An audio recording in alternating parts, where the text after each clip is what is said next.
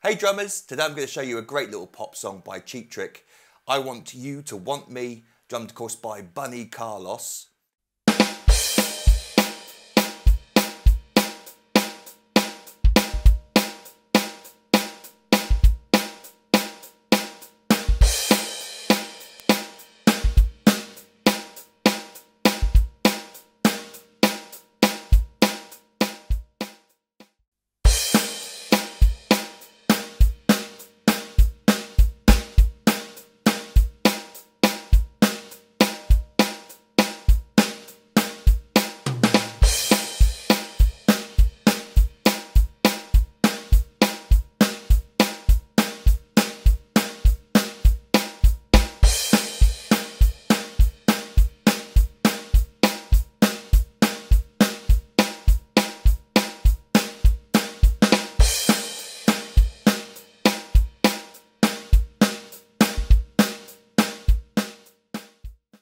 Now this lesson is aimed primarily for beginners because the basic stuff going on throughout the song is relatively simple.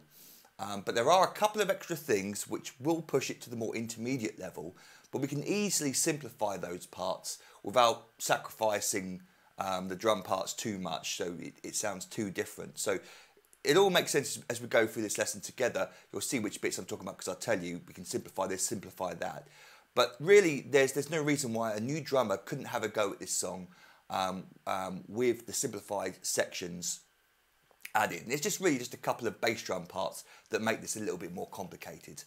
But we start off with um, the intro, and I've written at the top of the chart, all 16th notes are swung throughout. So that's the first sort of concept you need to understand about this. Um, if you're a beginner drummer, might, might be a little bit alien to you. But um, in a nutshell, we're sort of feeling the 16th notes going by as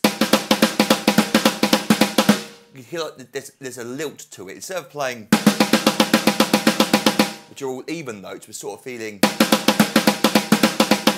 So when we come in with that drum fill at the beginning, we're not going to play, we're going to play, which on without a metronome or anything um, backing it up behind it, you can't really hear the difference very well because the tempos 93 BPM, and this little drum fill at the beginning, you're not really going to hear the difference. But for the more intermediate drummers out there, you will notice the difference, and uh, certainly when you play it, you'll feel it sort of differently.